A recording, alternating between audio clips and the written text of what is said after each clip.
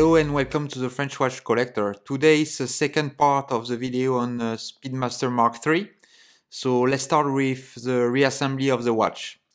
Uh, so first I put the mainspring uh, barrel assembly and the ratchet wheel on the top. And now I go with uh, assembling the train of wheel.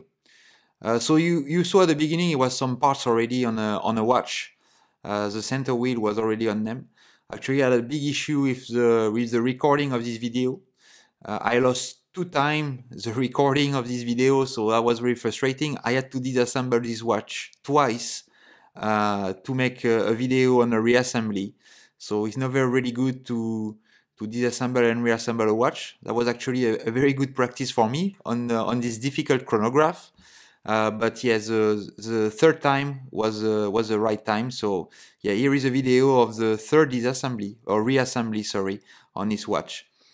So here, yeah, I placed all the wheels of, uh, of all the wheels of the train of wheel.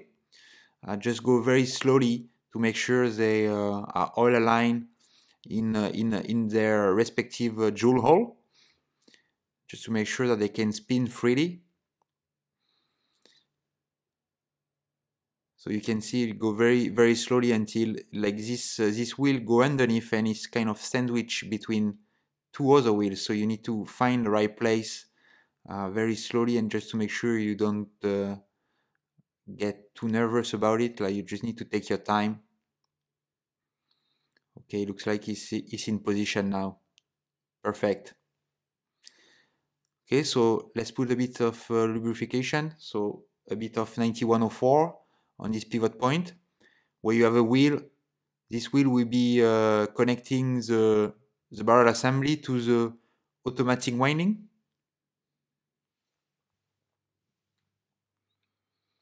And this wheel as well will transmit the, the winding movement of the rotor to the, to the mainspring barrel. Here you can see the bridge. You can see there is some parts underneath already assembled.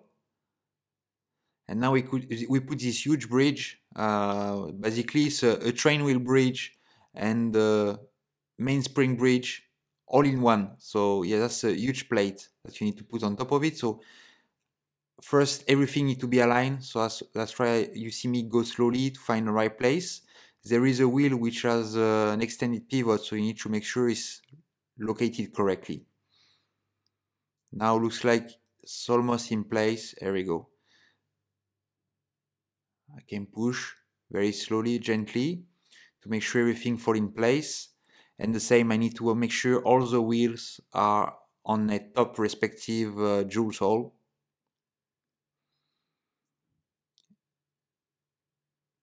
There we go. Everything is looking good. Just checking with the wheels if when everything move is they connect to each other.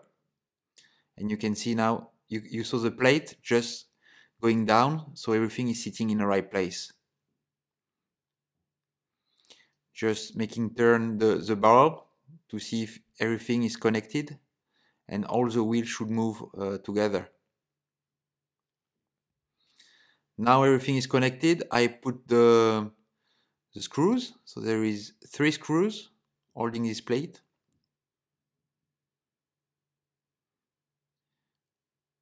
There we go. And now last check, you can see you can see the escape wheel was turning, so all good.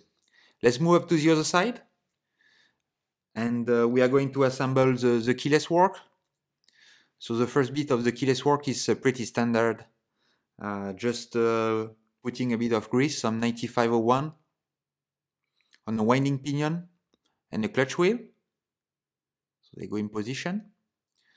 Putting a bit of grease as well on the, on the winding stem.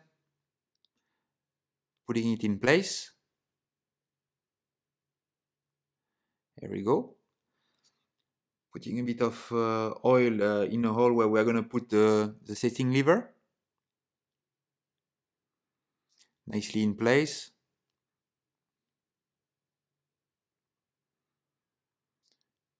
Grease on a contact point. This, this uh, come on the top and will act as a spring on top of the setting lever. Just put it in place you can see they're aligning with the holes where I need to this uh, screw is very very small So need to be very careful when you locate it and just make sure you secure it in place. I just clean the excess grease. Put a bit of grease in the middle of the clutch wheel where the yoke is gonna come. And now I put the, the yoke in place.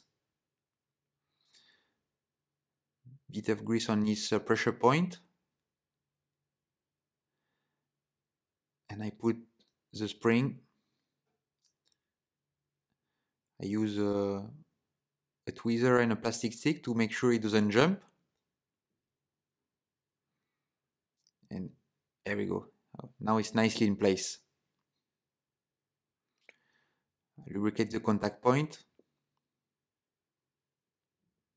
Clean the excess.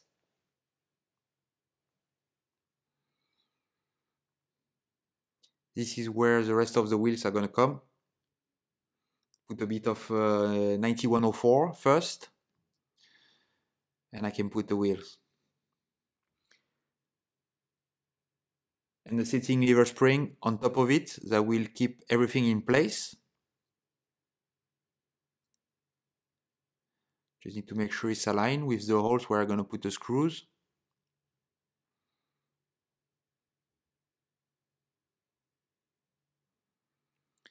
Go. Now we put uh, one screw for now. Just secure it in place. And now I can put the setting lever spring under tension. There we go. Now it's nicely in place. Just need to make sure, yes, it's falling in place nicely. And now I can screw it fully, tie it down, that it doesn't move. Put a bit of 90, uh, not sorry, some 9501, put some grease there because it's a pressure point to make sure it's nicely lubricated. And now we can check that everything is working. So there is three position, you can see. So winding, uh, setting, uh, quick setting date, and uh, changing time. Okay, all looking good. So this is like uh, like I said, it's uh, a keyless work, which is a, a, standard keyless work. So that's like we can find on other uh, watches, normal watches. So now let's focus. Uh, we are going to assemble the, the hour bridge, but first we need to put the hour hammer and this bridge with the hour wheel from the chronograph, which is uh, on attached already to this plate. Okay, same, we need to put it in place, make sure everything is aligned properly. Clean any excess uh, grease or any debris on a part. Check everything is rotating, everything is sitting down properly.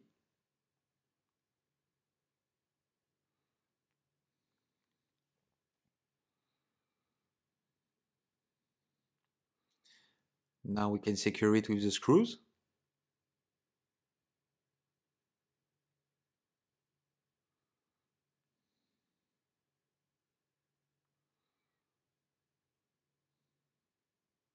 So far so good on the movement, just put a bit of uh, 9104 just to make sure everything is nicely lubricated, all the pivot point. There we go, a bit of grease on uh, on uh, hand on the at the end of the hammer. And I can move back on the other side and put the pallet fork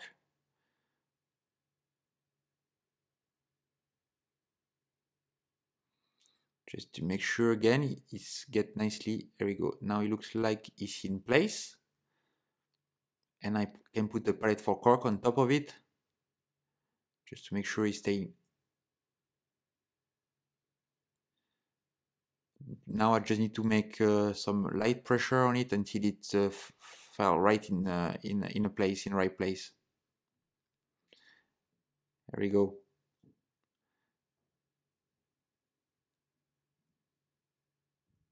now looks like he's sitting down and you can see it move it moving right left. So good we can secure it with the with two screws.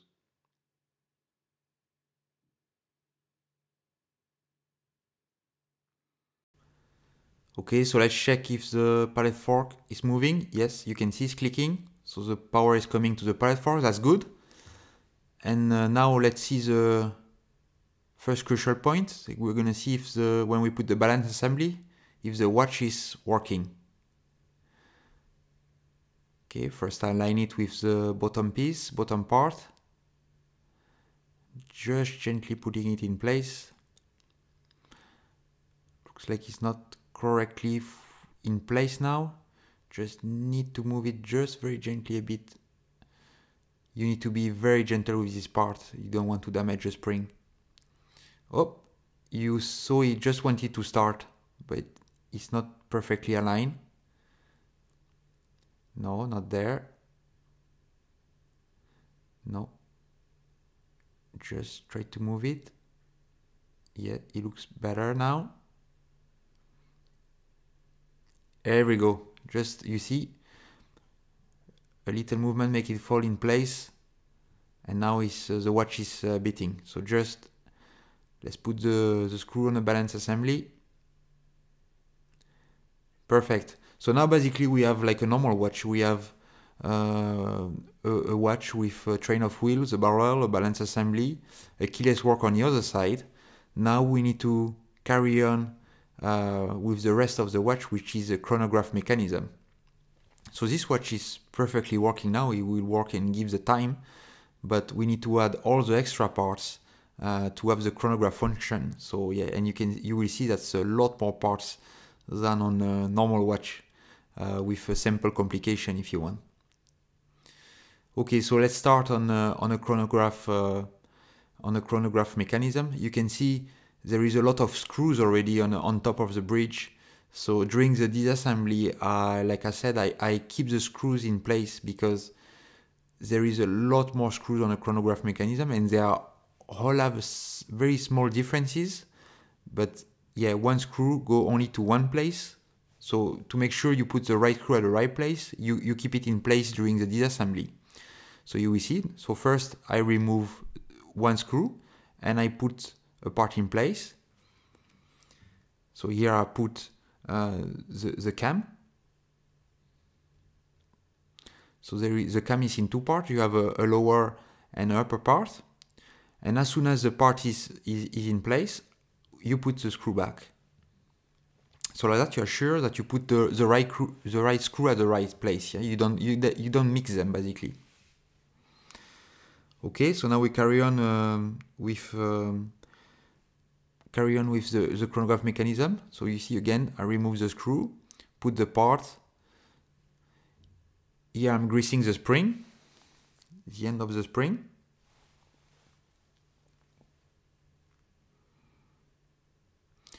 So the operating uh, lever spring.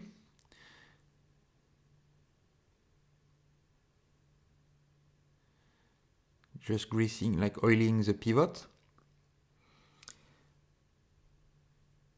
of the operating lever yoke. That's a system basically when you will uh, activate or click on, uh, on a chronograph that will connect to, to the cam.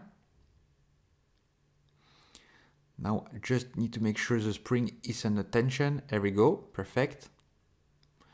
I can secure the part. Remove two screws. That's the screws where we're gonna have the operating lever. So first need to put a, a bit of uh, 9104 on the post. And this is the operating lever that's connected to the to the pusher, to the chronograph pusher. I put the screw back.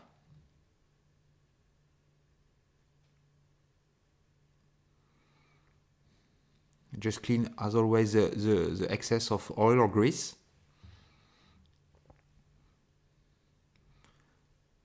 This is uh, lubricate the points that will come in contact with the, with the cam and clean the excess. This is a chronograph wheel, so that basically the second wheel of the chronograph. Just put it through the, the center. It's on a little spring, you see, to keep it under tension.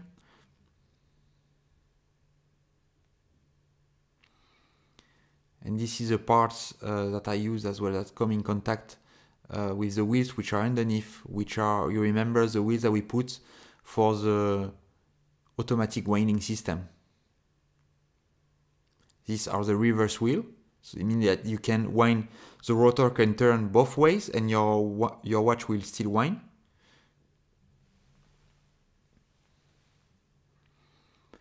And there is already some parts that were assembled that I did not disassemble uh, for the third time I did this watch. I told you already at the beginning.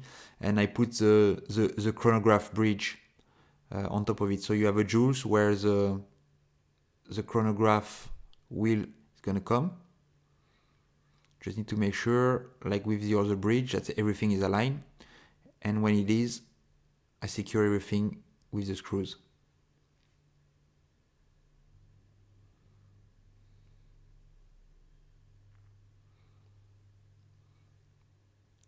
All the different points. I grease up all the contact points from the cam. There is a lot of contact points on the, on the cam because you will see there is a lot of parts uh, coming in contact with this uh, with these parts. This is a blocking lever that will come against and like this name say it will block the chronograph uh, wheel so that when you push the chronograph button for the second time when you stop when you stop it that will come in, in contact with the wheel and, and uh, stop it. So you see it's under tension, there is a spring, there we go, and you see now I release the spring on, on tension against the part. And I put a screw on top of it. Clean again the excess grease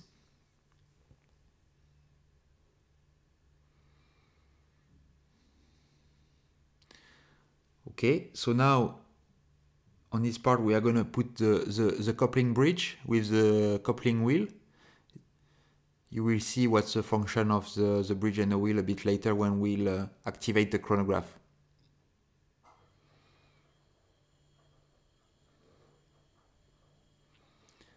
Okay, bit of oil there because in there you will have some contact metal to metal this screws as a shoulder uh, underneath and uh, it will come in contact with the bridge. Okay, and now I put uh, the chronograph driving wheel. That's, that's this driving wheel basically is what makes the connection between the train of wheel underneath so and the top uh, part of the part, so the, the part where you have the chronograph mechanism. Okay, so now I just press it down with a tool to make sure it sits nicely at the same height at the coupling, uh, coupling wheel if you want. These are, you see, there is two arms on each side is springs. So you need to make sure like uh, everything is kept under tension. So when you activate the chronograph, the, the bridge are, are moving. I'm greasing all the point, oiling all the point.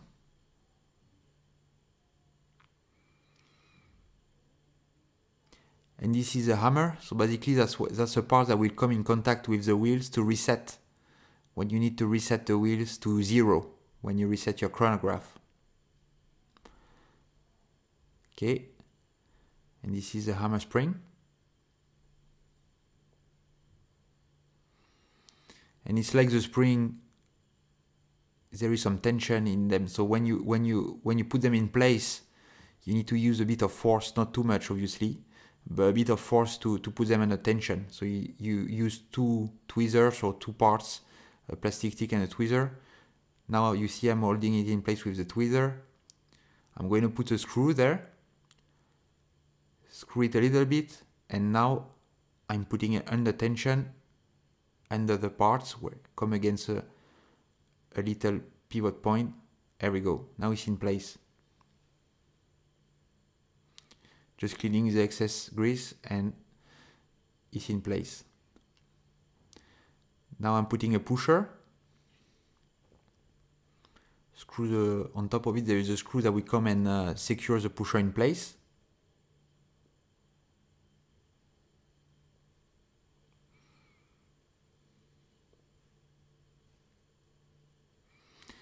And now I'm putting, that's a connecting rod basically. That's a rod that will connect the chronograph because you will see you will have some chronograph part on the other side, on the dial side. So this part will connect both sides. Uh, when you activate the chronograph, see now I'm activating the chronograph, it started. I'm disengaging and I'm resetting. So and the reset obviously doesn't work because on the other side we need to put some spring on the other sides. And I forgot to put one part on the first time, so now we move to the dial side. I need to remove the hour bridge and I forgot to put these uh, little plates that come in contact with the pusher. And it come locate on the little pivot point there. There we go. And now we come in contact with the pusher. You see, there we go on the hammer there, come in contact with the hammer just to make sure the contact point is uh, greased up properly. So if you like the video, please uh, like and subscribe. It will uh, help me to, to grow the channel and uh, keep me motivating. If you have any comment, put some comment down below. That will help me a lot as well. If you want to see different stuff or if you like what you see, it's always nice to, to know. Uh, so thanks for your support. Okay, so now I put back the hour bridge after adding the, the part I forgot the first time. Okay, checking everything in place. It's looking good. Perfect. So now we can carry on with the rest of the mechanism.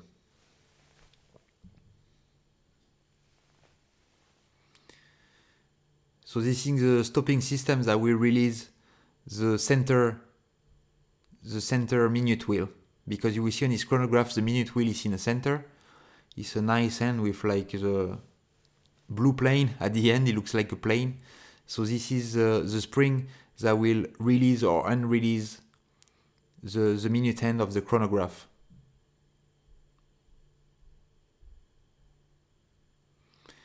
They are spring loaded. You can see up they come in contact. There you go. These two parts are spring loaded. I'm just greasing up the point.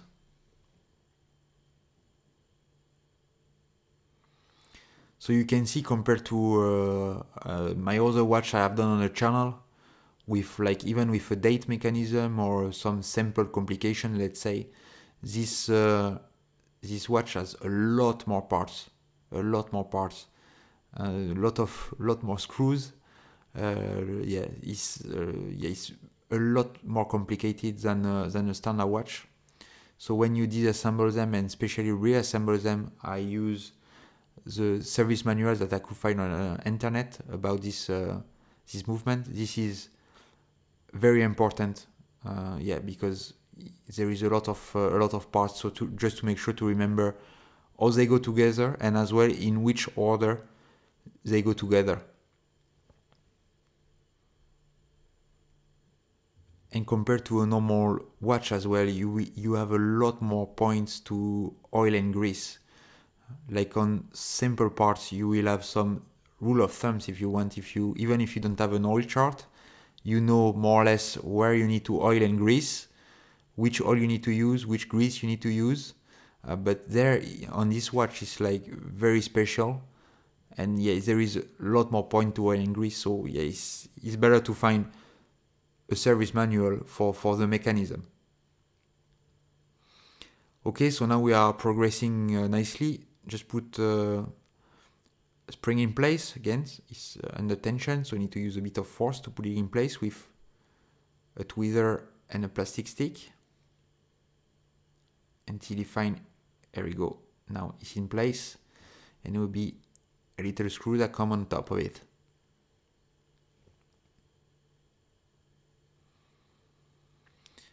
perfect This part is for the to drive uh, the calendar mechanism.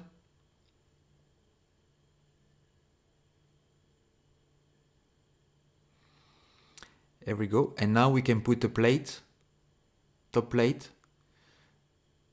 and the, the dial side will be fully assembled. And now basically the last layer, so this is like a sandwich if you want, you will have different layers. The last layer on top of, of there will be the, the calendar mechanism.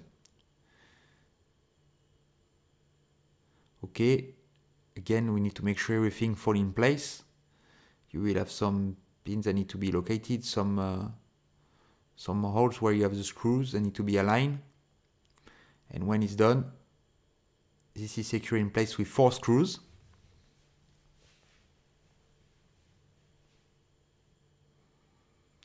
Just checking, starting the chronograph. Now we have all the chronograph part assembled, stopping it and resetting. You need to use the right side. You will see the hammer coming in place and resetting everything. Just checking, yeah, it's already done. Perfect. Okay, so now let's put a bit of, uh, of oil. We need to put the cam for the minute. So the cam is uh, basically is uh, in the middle, the minute end. You will see the central minute end.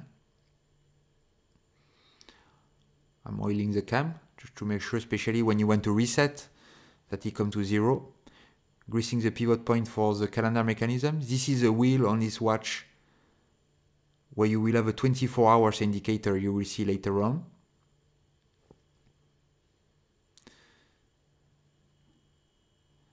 We go. Now that's a, that's a wheel will do the connection with the hour wheel. And this wheel is, is kept in place with, uh, with a screw in the middle. Only the pivot point for the date jumper. This is a date jumper, we go, it's in place.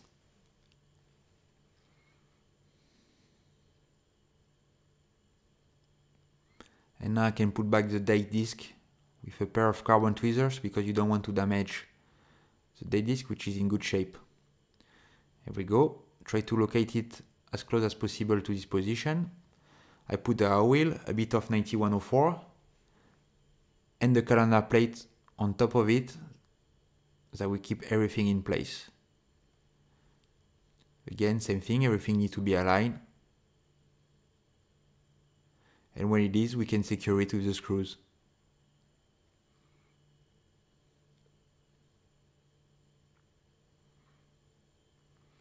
Perfect. So far so good on the, on the assembly. That's the day jumper spring, just to make sure the day jumper is kept under tension and it will give you a nice change of date, a jump basically at uh, close to midnight when the date is changing. Perfect. Greasing the day jumper. And now I can check. Okay, you see that's a quick set date function when I'm, in, I'm, I'm at the second position. So it's working perfectly. Now I can put the dial. So on his watch, the dial is just uh, press fitted. There is no dial screws that keep it in place. So I just need to make sure it's aligned with the dial fit in the right in holes and just gently press it into position.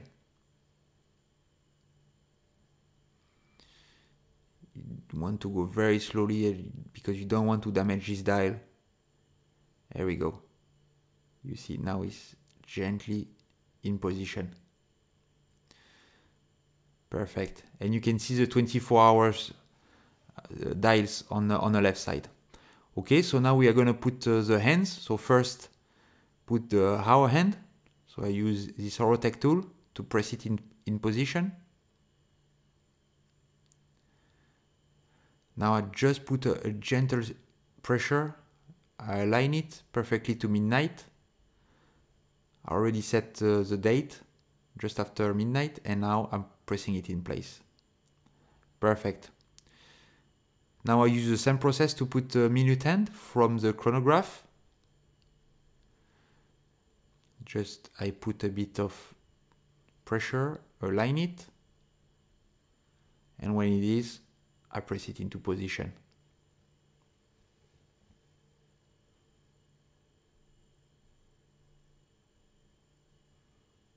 You want to be as precise as possible because you want all the hand to align, especially for the chronograph Perfect. Now we put the third end is a minute hand. Again, just make sure you it's at midnight because you want the change of date to happen at midnight, or as close as possible to midnight.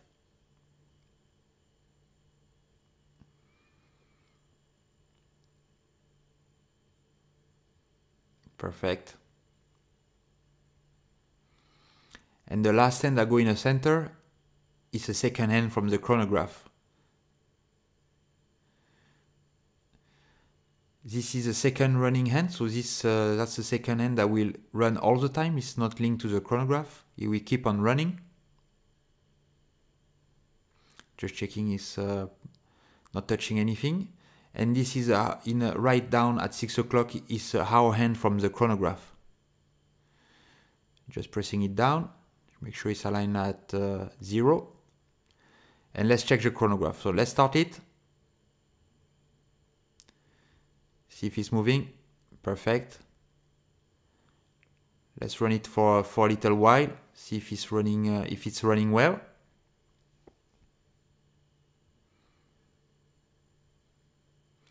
You can see the blue hand, which are the, the, the minute hand from the chronograph.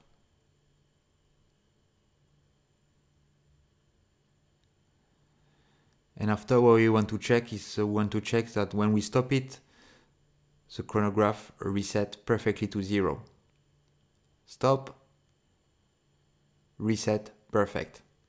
Pretty pleased with it. It's not very uh, easy because you have to align four hands, which is a lot. Uh, so yeah. Now I clean the, the case, I clean the spring, the pushers are working very well. I replace the crystal on the watch. Uh, so the case is looking quite nice. So now let's uh, put the case back.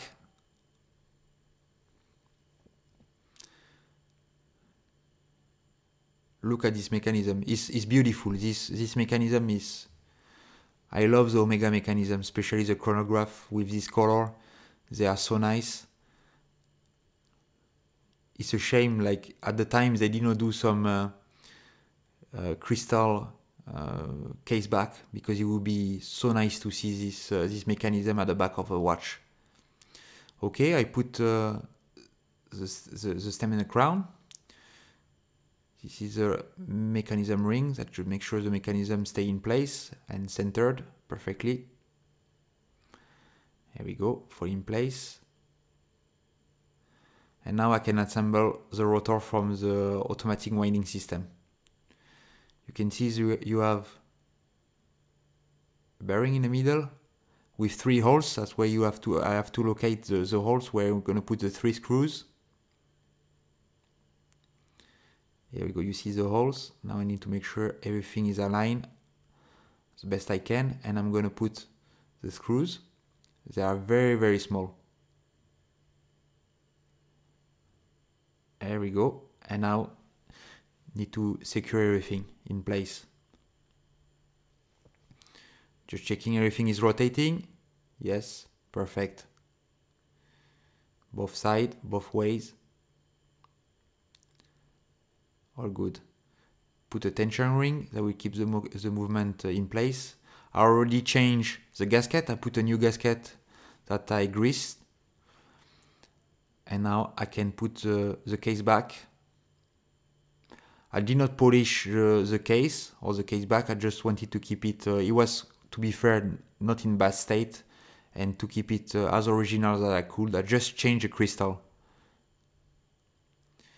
And here we go. Now the watch is in a case, looking so nice with this blue hand, and you can see the chronograph working. This is, to be fair, one of my best watch, and it will go right into my collection. And here is a this is a result on a timegrapher. So you can see the, the amplitude when it's stabilizing around 250 to 60. The grid, not bad. And uh, the, the rate at minus 3 or around 0 second per day. Uh, and the beat error at 0, so that's perfect.